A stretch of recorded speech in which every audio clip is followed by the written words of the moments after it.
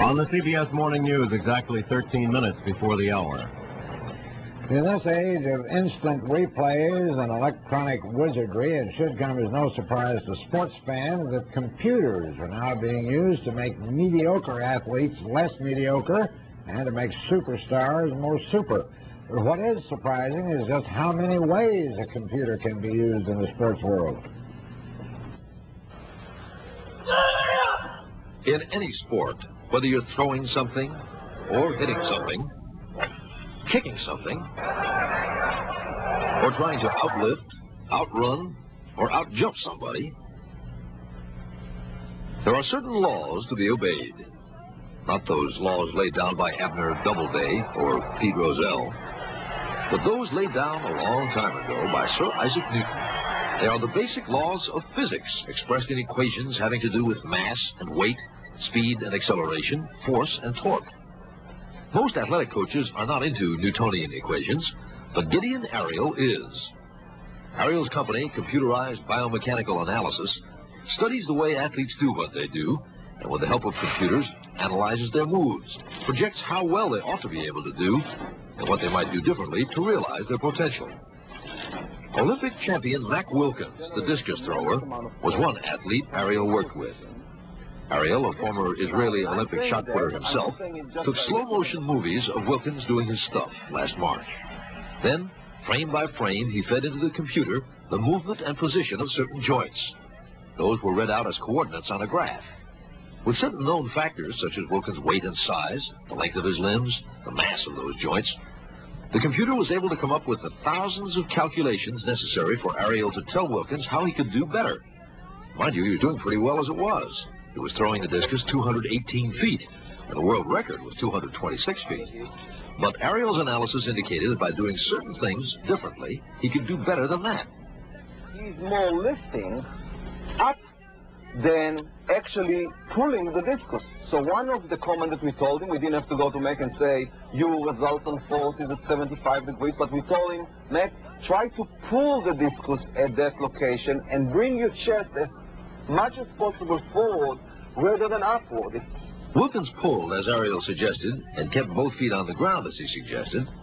And not only did he go on to win the Olympic gold medal, but in the first official throw he made after getting Ariel's advice, he threw 232 feet, shattering the old world record. Ariel says one reason the East German Olympic team did so well last time is that their coaches have been using biomechanical analysis, not computerized as far as we know. But with the equipment this country has, Ariel says we should be able to do it far better than any other country in the world. Tennis pros have been consulting Ariel, too, to find out what really happens when a tennis ball hits a racket. After testing every kind of tennis ball, Ariel worked up a special ball.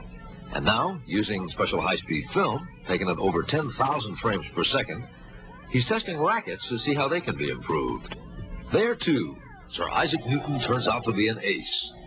His forehand and backhand may not have been much, but his overhead smash is famous. Sometimes we don't recognize a good idea until it hits us in the head.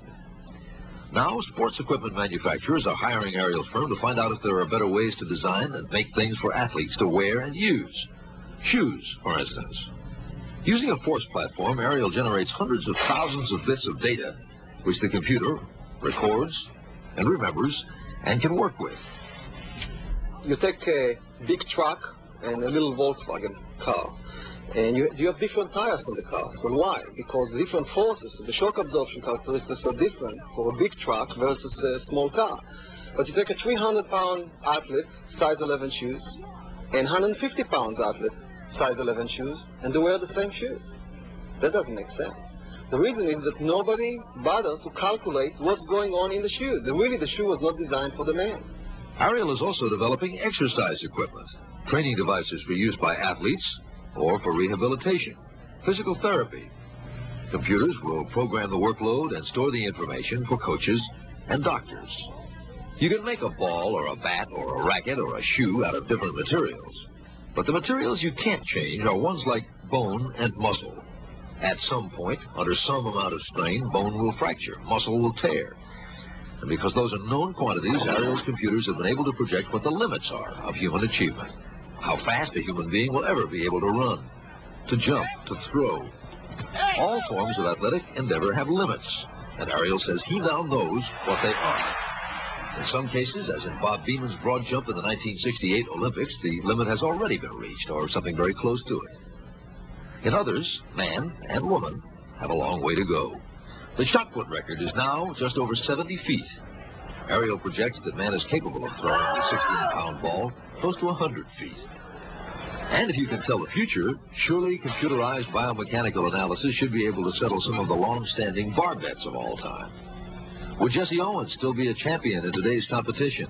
Ariel says he would, using today's shoes and on today's tracks. Would Secretariat beat Man o' War? Ariel says he can tell. The theoretical possibilities are fascinating. Charles Osgood, CBS News, Amherst, Massachusetts.